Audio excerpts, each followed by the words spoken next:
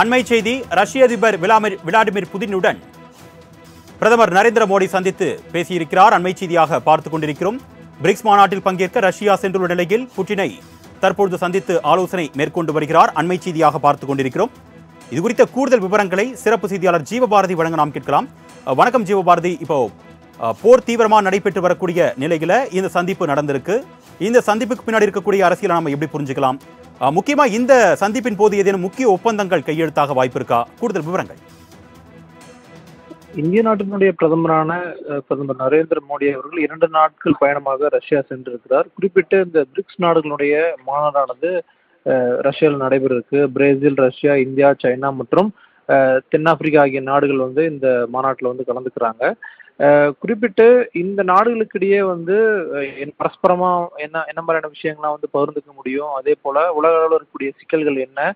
இந்த நாடுகள் எதிர்கொள்ள இருக்கக்கூடிய சிக்கல்கள் என்ன? அது குறித்து எப்படி வந்து சு- சுமூகமான முடிவுகள் எடுக்கிறது அப்படிங்கிற தொடர்பாக தான் வந்து இந்த பிரிக்ஸ் மாநாட்டில் வந்து விவாதிக்கப்பட இருக்கு.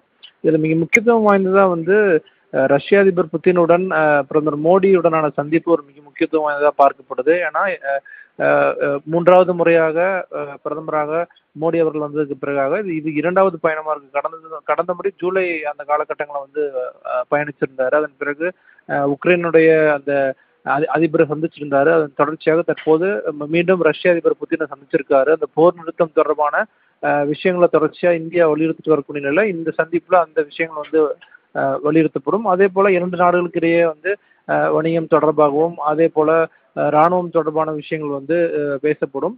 இதில் இதுல இந்த பிரிக்ஸ் மாநாட்டில் சீன அதிபருடனான சந்திப்பு நடைபெறதுக்கான வாய்ப்புகள் இருக்குன்னு சொல்லி பார்க்கப்படுது. ஏன்னா நேற்றைய தினம் ஒரு முக்கியமான ஒரு ஒப்பந்தமானது வந்து இந்திய சீனா எல்லையில வந்து போடப்பட்டிருக்கும் நிலையில இந்த சந்திப்பு சந்திப் இந்த பயணத்தின் போது சீன அதிபர் ஜி வந்து சந்திக்கிறதுக்கான அதிகப்படியான வாய்ப்புகள் இருக்கு ஈஸ்வர்.